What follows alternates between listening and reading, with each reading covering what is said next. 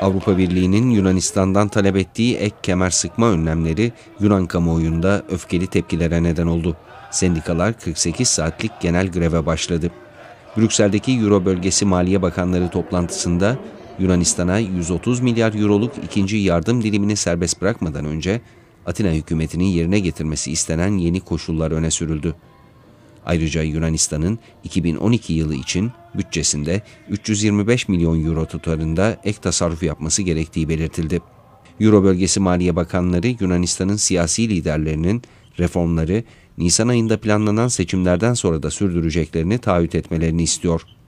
Yunanistan'da teknokrat başbakan Lukas Papadimos'un liderliğindeki ulusal birlik hükümetini oluşturan koalisyon ortakları haftalardır süren müzakerelerin ardından maaşlarda büyük çapta kesinti dahil yeni bir dizi kemer sıkma önlemi konusunda dün anlaşmaya varmıştı.